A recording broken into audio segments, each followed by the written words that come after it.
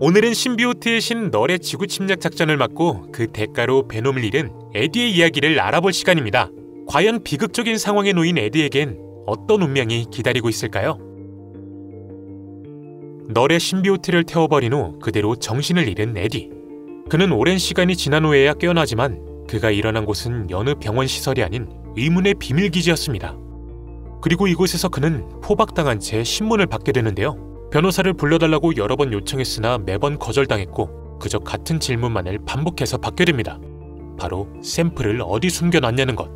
에디 앞의 남자는 그가 널과 연결됐었던 symbiote 그랜델의 샘플을 소유하고 있다 의심하던 것인데 이런 그의 말에 에디는 샘플 따윈 챙기지 않았으니 닥치고 정체나 밝히라 소리칩니다.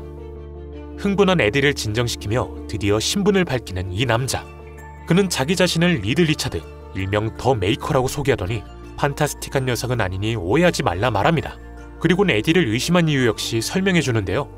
사실 그는 에디가 널의 침략을 막은 직후 자신의 팀을 보내 뒷수습을 진행했었으며 거기서 그랜델의 샘플을 직접 채취했었다고 합니다. 하지만 최근 누군가 연구실에 침투해 샘플을 훔쳐갔고 그 도둑놈이 바로 에디가 아닐까 의심했던 것이라 하죠. 본인은 기절 후로 계속해서 여기에 갇혀 있었는데 어째서 자신을 의심하는 것이냐 묻는 에디. 메이커는 정말 그렇게 생각하냐며 미소를 짓는데 이런 그의 반응에 에디가 의아해하자 메이커는 진실을 말해주겠다며 그동안 있었던 일에 대해 털어놓기 시작합니다. 사실 에디는 그랜델을 태워버린 후 기절했던 것은 맞으나 메이커의 부하들이 다가오자 베놈에 의해 본능적으로 깨어났었다고 합니다. 그리고 모든 이들을 베어버린 후 도시를 휩쓸며 도망다녔다고 하는데요. 그러다 강속으로 빠져들어 흔적을 감추는 데까지 성공했었다고 합니다. 이후 메이커 팀은 베놈의 흔적을 끊임없이 추적했고 그 결과 샌프란시스코에서 방심하고 있던 에디를 발견해 그를 제압했다고 하는데 그가 잡힌 곳은 바로 에디의 아버지의 거처 앞이었다고 하죠. 조용히 메이커의 얘기를 듣다 입을 여는 에디. 그는 그렇다면 그 사건 이후 얼마나 오랜 시간이 지난 것이냐 묻는데요. 이에 메이커는 넌 3주간 도망 다녔고 시설에 잡혀온 지는 2주 정도 됐다고 답합니다. 문제는 이 5주간의 기억이 에디에겐 전혀 존재하지 않았다는 점. 에디가 혼란스러워하자 메이커는 베놈이 너가 고통스러워하는 기억을 모두 지웠기에 자신이 이렇게 친절히 설명해주는 것이라 말하죠. 그런데 갑자기 씩 웃어 보이더니 그나저나 좀 외롭지 않냐 말하는 메이커. 에디는 잠시 멈칫하더니 뭔가 이상한 점을 눈치채는데요. 바로 베놈의 목소리가 전혀 들리지 않는다는 점입니다. 베놈을 자신에게서 분리한 것이냐며 소리쳐보는 에디.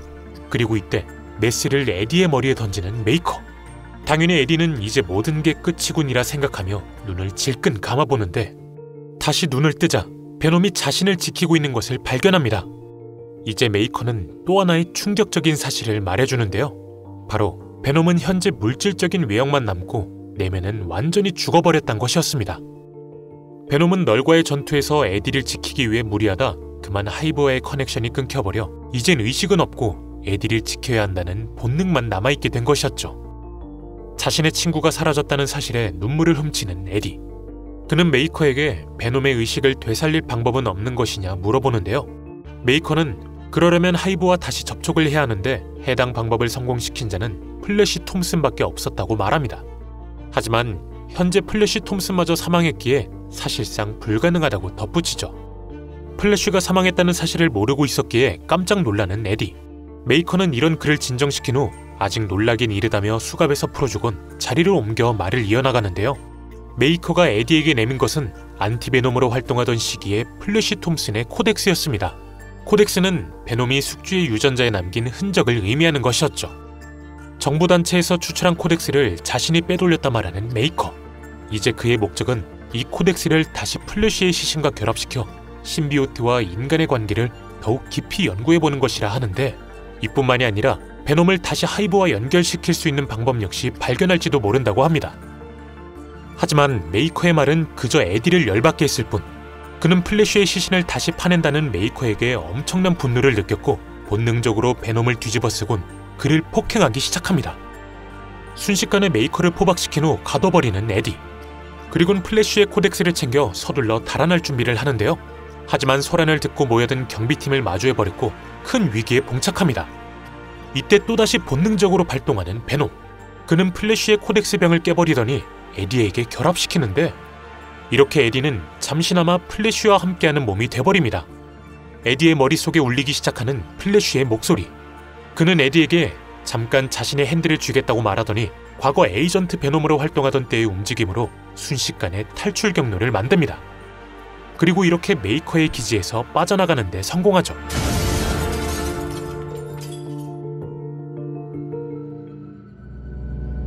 며칠 후 플래쉬의 codex가 다 소모돼 버리자 또다시 홀로 남겨진 에디.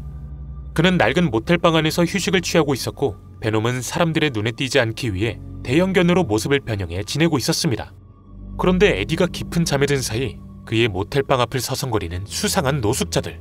이들은 왠지 모르게 정신이 반쯤 나가 보였고 그저 에디의 이름을 중얼거리며 방문을 열려고 드는데 이상하게도 계속해서 열쇠가 빠져버립니다. 물음표를 던지며 다시 한번 열쇠를 구멍에 꽂아보는 이들. 하지만 열쇠는 또다시 빠져버렸고 이내 그 이유가 밝혀지는데요. 바로 베놈이 에디를 지키기 위해 이들의 침입을 막고 있던 것입니다. 역시나 의식은 없지만 에디를 지켜야 한다는 본능이 발동한 것이었죠. 문틈으로 슬며시 빠져나와 노숙자들을 덮치는 베놈. 그런데 이 노숙자는 쓰러지더니 이상한 연기를 내뿜는데요. 이 연기의 향은 베놈을 자극했고 베놈은 연기의 출처를 쫓아 이동하기 시작합니다. 잠시 후 한 골목길에 도달한 베놈. 이곳엔 정신이 나가버린 사람들은 물론 동물들까지 존재했는데요. 베놈은 이들 사이에서 연기가 나오는 하수구를 찾아냈고 곧바로 그 안으로 들어가 보려 합니다. 하지만 그의 길목을 막는 다른 동물들, 물론 베놈이 가장 앞서 있던 녀석을 꿀꺽해버리자 알아서 길을 터줬지만 말이죠. 하수구 안으로 들어간 베놈은 정신 나간 자들을 지나치며 최대한 깊숙이 들어가 봅니다. 그런데 이내 거대한 robo suit를 착용한 자들에게 저지당하는데요. 물론 이들 역시 제정신이 아닌 듯해 보였고 이들은 베놈을 잡자마자 sonic blast를 발사해 그를 조각내버립니다. 하지만 당연히 이대로 쓰러질 리가 없던 베놈. 그는 천천히 조각들을 다시 모으더니 뒤에서 급습을 가하며 반격을 실행하죠. 순식간에 로봇을 쓰러뜨린 후 천천히 내부의 사람에게 다가가는 베놈. 그런데 이 남자의 코에선 뭔가 이상한 물질이 꿈틀거리고 있었는데 베놈은 이 물질을 그에게서 빼내 먹어버렸고 그러자 남자는 갑자기 제정신으로 돌아옵니다. 무슨 일이 있던 것이냐 자신의 동료에게 묻는 이 남자. 그의 말에 동료는 자신도 방금 정신을 차렸다며 상황 파악이 전혀 안 된다고 답하는데요. 이들은 일단 주변을 둘러보기 위해 좀 더 깊숙한 곳으로 이동하기로 했고 베놈 역시 뒤를 은근슬쩍 쫓아가 봅니다. 그리고 잠시 후 괴이한 붉은색 기둥을 마주하게 되죠. 시내 곳곳에서 발견되던 정신 나간 사람들 그리고 동물들은 이곳에서 생산되고 있던 것입니다. 이 광경을 목격하자마자 갑자기 소리를 지르며 달려나가기 시작하는 베놈. 잠시 후 에디는 누군가 미친 듯이 문을 긁어대는 소리에 잠에서 깨게 되는데 그가 문을 열자 베놈이 문 앞에서 대기하고 있었고 에디는 무슨 일이 있던 것이냐며 그를 쓰다듬어 봅니다. 그러자 캑캑거리더니 에디 앞에서 무언가를 토해내는 베놈. 바로 하수구에서 먹었던 정체불명의 물질이었는데 에디는 이 물질을 보더니 마치 앞으로 다가올 일이 눈앞에 펼쳐지듯 매우 당황해합니다. 그리곤 머리를 싸매며 절규하기 시작하죠. 카니지가 오고 있다고. 그는 함께할 자신의 유일한 동료 베놈마저 의식이 없는 이 상황에서 혼자 어떻게 카니지를 상대해야 할지 큰 고민에 빠집니다.